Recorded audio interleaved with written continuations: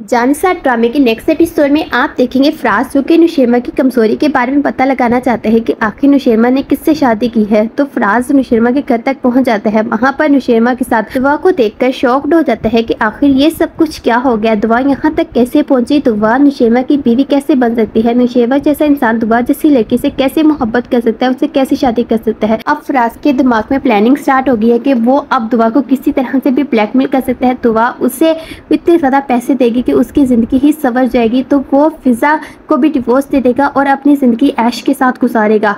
तो अब दुआ के साथ वो रबता करने की कोशिश करते हैं कि दुआ का किसी ना किसी तरह से नंबर मिल जाए और दुआ का उसे नंबर मिल भी जाता है और दुआ को कॉल करता है और दुआ से कहते हैं कि मैं तुम्हारी सच्चाई, तुम्हारे हस्बैंड को बता दूँगा और तुम्हें नशेमा घर से बाहर निकाल देगा। दुआ ये सब बात सुनकर अफरासी कहती है कि तुम्हें मेरा नंबर कहाँ से मिला और तुम्हें कैसे मालूम कि मेरी शादी नुशेरमा से हुई है और तुम नहीं जानते नुशेरमा को, वो तुम्हें जान से मार डालेगा जब उसे मालूम होगा कि तुमने मेरी ज़िंदगी बर्बाद की। मैंने अभी तक नुशेमा को तुम्हारे बारे में कुछ भी नहीं बताया। अगर मैं तुम्हें, नुशेमा को तुम्हारे बारे में बता दूँ तो वो मेरे कदमों में तुम्हें ला रख देगा। तो वीवर्स आपको क्या लगता है, क्या अब दुआ नुशेमा को फ्राज के बारे में बताएगी या नहीं? कमेंट कर मैं ज़रूर बताएगा वीडियो अच्छा लगे लाइक, शेयर, कमेंट करना मत भूलेगा thanks for watching my video.